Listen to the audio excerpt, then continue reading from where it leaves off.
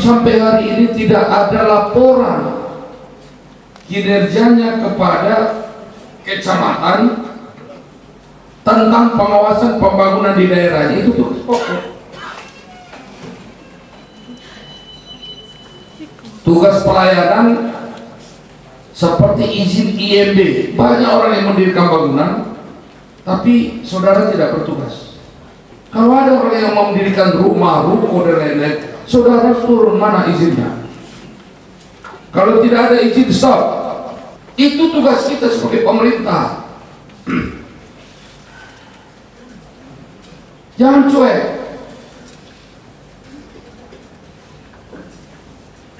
Ini didiamkan.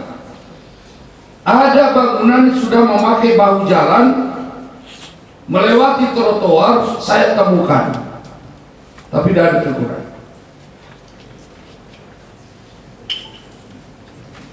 ini di bambu itu Kapuan.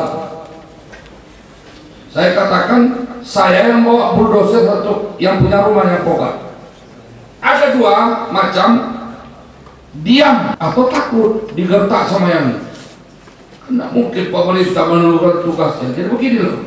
Datang saudara ke tempat bangunan atau apa pun namanya, saudara larang. Kalau ada yang memukul saudara, itu kriminal. Laporkan kepada kita. Kita bela saudara. Atau diam karena sudah dapat. Sudah pegang uang stabil, tidak ngomong lagi dia, tidak bisa lagi.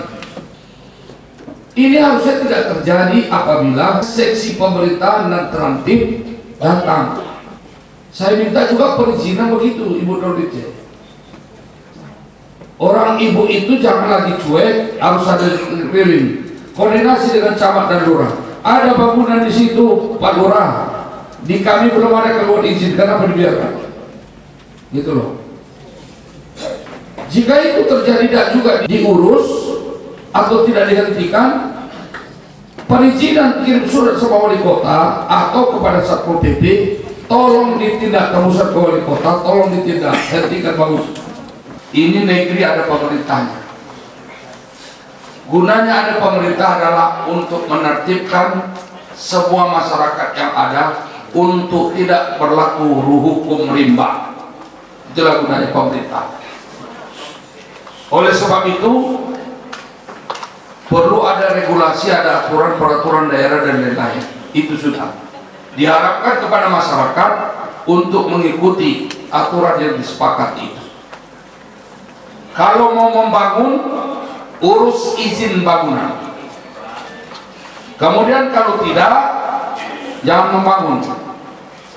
Kemudian lagi, kalau membangun jangan memakai badan jalan untuk menumpuk bahan-bahan bangunan, material dan lain-lain sehingga mengganggu arus lalu lintas masyarakat terhadap jalan itu.